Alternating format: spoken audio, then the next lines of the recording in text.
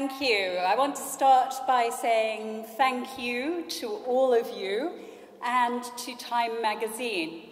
But I also want to start by thanking my family because without them, and I'm sure it's true for all of you here, without our families who support us, and particularly me in my determination that we set out now what we humans want to do with our lives with AI, then we wouldn't have the time or space to have these conversations.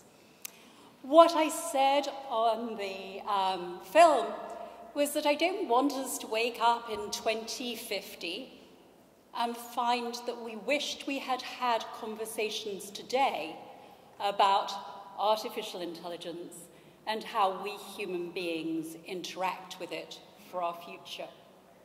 I genuinely believe that we have a great future with AI, and it's in our hands to shape it now. We need to do that now. My story in responsible AI would not have started without good journalism. And good journalism is something we need to protect now. Because we see deep fakes, problems with elections, and journalism is under threat from AI. But also it has great potential where AI is used wisely in journalism.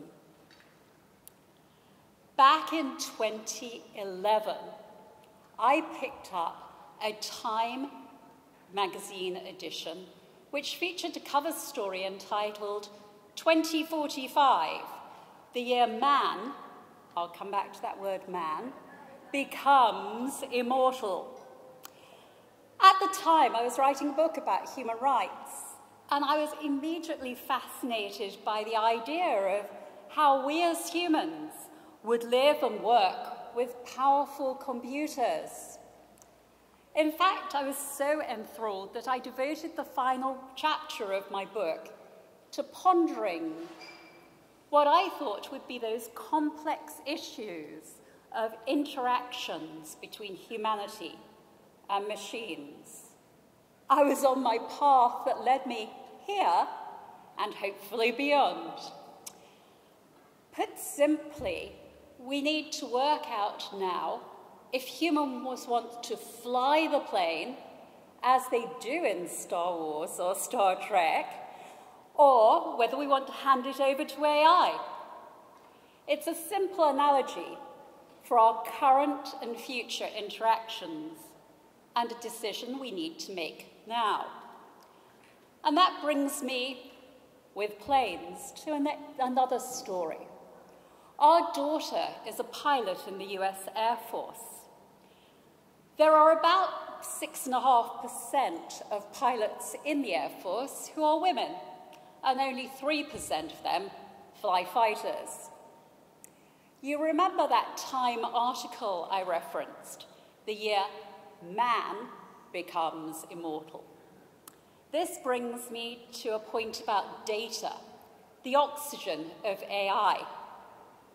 Our daughter's data as a female military pilot is overwhelmed by that of her male colleagues whether it comes to flying, or perhaps more importantly, to her health care in the event of an injury. If we are to succeed in creating better economic prospects for all with AI, we have to start by doing better with data. About 3 billion people cannot access the internet Put that against the 180 million or so who use ChatGPT monthly. Billions more have not created a sufficiently large data footprint for their contributions to be evaluated by generative AI without very precise prompts. Indeed, the bulk of the data on heart attacks comes from white American men over 55. I guess it's probably no surprise to you that the majority of data comes from white men. mainly based in the global north. It's just that they've had the pen for longest in the data that we are using to train our generative AI. It seems sometimes that we haven't come very far.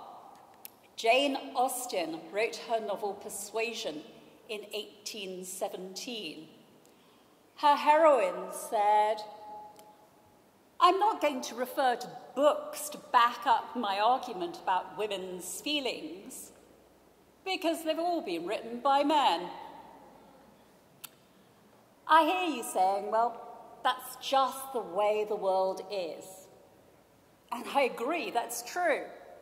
But one of the power and potential, and also the peril of AI, is that we can now go beyond how it is to collect and use data of how we mean it to be. We have far to go, but I think in the last year we've seen some great things in terms of organizations putting in place good foundations for responsible design, development, and use of artificial intelligence before they go ahead with AI solutions. I have hope that we can truly come together to make AI a safe and equitable tool that we use to advance humanity as well as our economy for everyone. So, I ask you that we plan together our future and we start doing so today. Thank you.